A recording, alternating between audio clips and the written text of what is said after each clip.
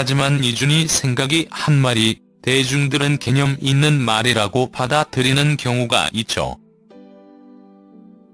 남자 아이돌이 이렇게 클라라를 시국계의 거장이라느니 몸매기의 마에스트로라니 칭찬하기가 어렵죠.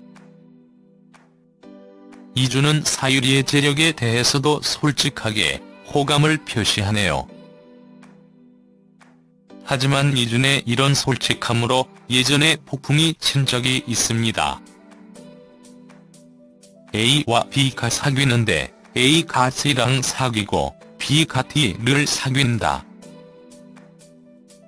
여기서 잘 봐야 할 것이 있습니다. A가 B와 사귀다가 헤어진 후에 C랑 사귄다는 뜻도 되지만 더구나 같은 팀에서 벌어진 일입니다. 사실 너무 난잡한 행동은 자제해야겠지만 보통 6개월에서 1년 정도 사귀다가 헤어지고 다른 사람을 만나는 일은 사람 사는 세상에서 흔한 일이죠. 이준의 동료 아이돌을 제대로 못 보겠다고 한 말 역시 이해가 됩니다. 같은 동료에게 그런 돌직구를 던졌으니 좀 민망하기도 하겠죠.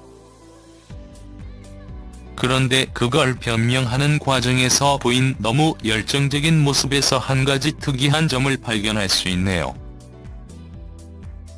또 장지갑 크기만한 바퀴벌레를 한국의 자기 집에서 보는가 하면 27살이지만 아직 아이 같은 면모가 상당히 남은 듯. 사실 순수하다는 말과 아이 같다는 말은 동전의 앞과 뒤의 관계죠. 이렇기에 오늘 바로 옆에 앉은 클라라도 제대로 쳐다보지 못합니다. MC들의 권유로 나중에 의상을 확인하는데 그대로 스캔남이 되는군요.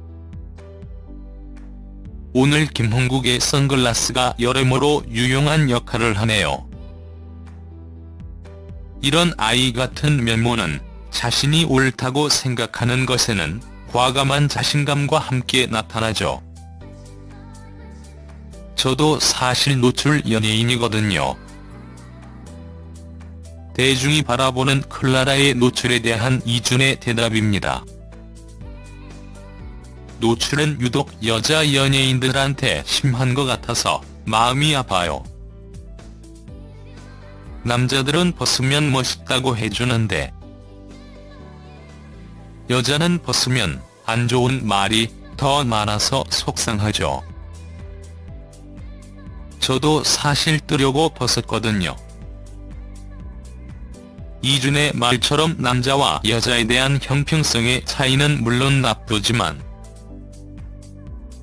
연예인이 뜨기 위해서 노출을 한다는 것 자체에 대한 이준의 발전적인 인식 전환이 필요하다고 생각합니다. 그러면 이준 같은 아이돌의 팬인 어린 학생들이 어떻게 될까요?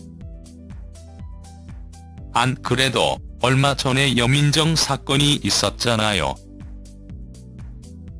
이준의 직설적이고 순진한 면은 좋지만 이런 점까지 생각하는 사려 깊은 이준이 되었으면 합니다.